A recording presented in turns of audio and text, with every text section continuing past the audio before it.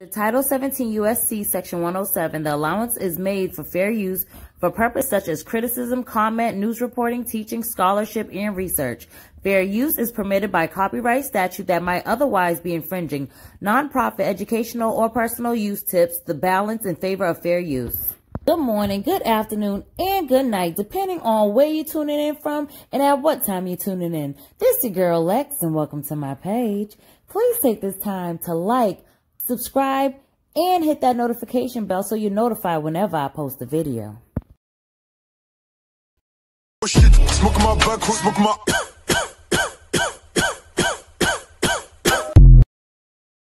Hey y'all!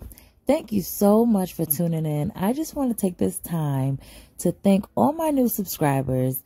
I literally was just saying a few um, videos ago how I was trying to get to 200 and you guys got me there. Thank you thank you thank you. I can't thank y'all enough. Thank you for the subscription. Thank you for coming back to check out the videos. I don't despise humble beginnings so to some 200 might sound like nothing but i appreciate each and every one of y'all. Thank you again. Now let's get into the mess. Tired of beefing you bums you can't even pay me enough to react between the slow motion and the uh, lyrics, baby, she had a message. She's tired of beefing with you bums. You don't even pay her enough to react. You ain't got enough in your account to pay her to react, okay? So I'm all with it. Go ahead, Mel. Do your thing. Between Martell hating on her, the whole cast being um, Maurice, Marsau, Kimmi, um, Tisha. You have Destiny, Coleslaw. Now you have YouTubers talking about they got a anonymous message saying that Mel is the one that made CPS calls about something that's really like sideways.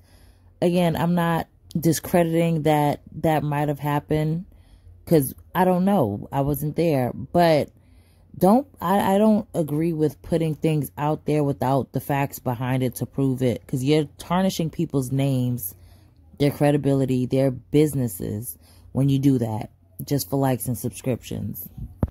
But i did want to bring up a point that i actually as i was getting ready to do this video i just happened to watch auntie anne's video and i was literally going to say the same thing she is on point. I feel like those messages, those subliminals that uh, Coleslaw have been posting have really been about Martell.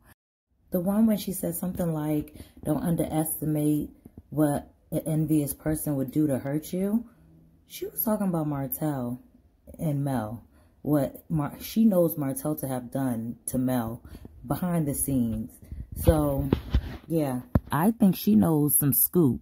And uh, she's, you know, holding it for now. She's playing her card. She's trying to see if she's going to play her card or if she's going to hold on to it. But I agree with her because I feel like um, Coleslaw knows a lot about what was going on behind the scenes and all the nasty stuff that Martell was doing because she was a part of it. They was going hand in hand. But now that she's starting to realize that he isn't really what he claims to be, she's ready to play that card. Now, switching gears a little bit here, Miss Sheree posted and had a message of her own. It says, The day you look at other women and celebrate their strengths instead of think of them as competition is the day you go from girl to a woman. Ollie Washington hashtag self-love, hashtag growth, hashtag old and cold, hashtag explore page, hashtag full course meal with the table, pots, pans, and plates.